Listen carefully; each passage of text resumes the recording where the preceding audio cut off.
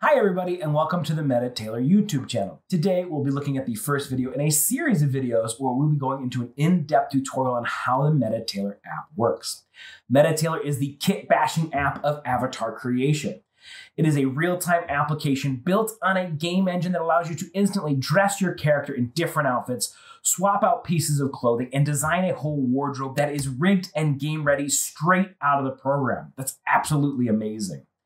So let's go ahead and hop online, download the free version, or if you want some extra cool features, go ahead and grab that pro version. And while you're down there, give us a like and subscribe to be able to follow along with all of our future videos. All right, so let's go ahead and hop in and start playing with the app. All right, here we are on our launcher. You can see right here, we've got a little Discord icon. Go ahead and click on that and join our amazing community. Show us your designs, your outfits, the different things that you create. And if you have any questions, concerns, or quandaries, go ahead and ask it there and we'll help you out.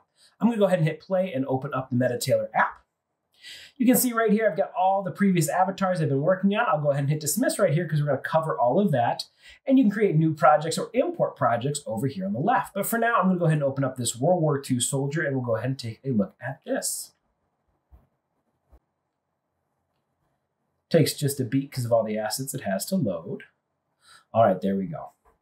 So this is our viewport. This is everything we can see on our character right here. We can spin around our character, or as I like to call it, tumble around our character and take a look at the outfit. That way we can middle mouse click and drag to pan around and we can zoom with the middle mouse in and out. And if you start to lose your character, you can just tap F on the keyboard and it'll bring them back to center. All right, over here on the left, we have our dynamic layering. Dynamic layering is the coolest part about MetaTailor, in my opinion. It's got a lot of cool things, but the fact that I can just click and drag and say a boot right here, and I can untuck and retuck the pants, or if I had shirts like uh, t-shirts or long shirts, I could tuck those into pants as well. The way this character is designed, the shirt and pants, you really don't notice them being tucked and untucked, but the boots are an easy way to go ahead and show that. That's all over here in our dynamic layering window. You can save your projects with this little icon right here, import, export them out, or play with our new physics that we are just releasing now into beta. Over here on the right, we have our content browser. This is where you can download tons of free content, even more content and if you're if you're a pro, and even more content if you want to buy it off of our marketplace. Now, what do I mean by buy it off of our marketplace?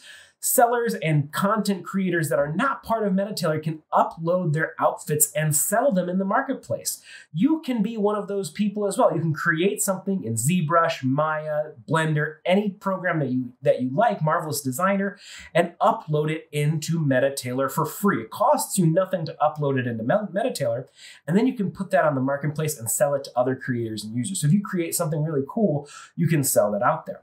I want to be very clear. We're not really hiding anything behind a paywall. MetaTailor gives you plenty of stuff to work with in the free version, even more in the pro version, and all that other content is made by other people. So that, that is where you can get access to that.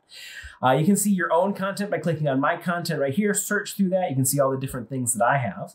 Up here on the right, we also have the tools option. This allows you to scale, move, rotate when you have an item selected, like let's say this helmet wasn't sitting 100% properly. If I wanted to even tighten this helmet up a little bit, I can go ahead and hit scale and bring that down just a little bit, maybe a little bit closer to his head. Bring it back a little bit and go ahead and hit confirm. And it retailers it and rescales it on there to be a little bit tighter.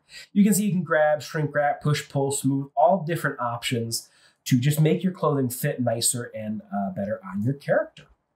Underneath viewport settings, we have a couple other options. We can change the nice looking background to either warm, cool, sunset, anger, uh, cyberpunk. I'll leave it at cool for now. We also have these amazing animations where you can see your character doing different actions and motions. I'll unclick that helmet there for a second. With that set on.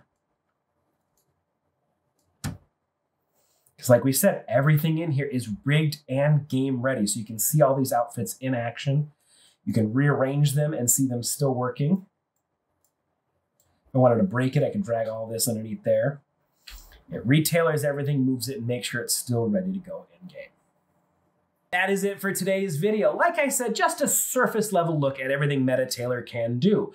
In the future, look for those other videos where we'll be talking more about dynamic layering, the content browser and marketplace, importing out of programs like Maya, Marvelous Designer, and ZBrush into MetaTailor, and exporting out for programs like Unity and Unreal. We'll be talking about all those different tool settings as well as stuff in the viewport and much, much more all about MetaTailor.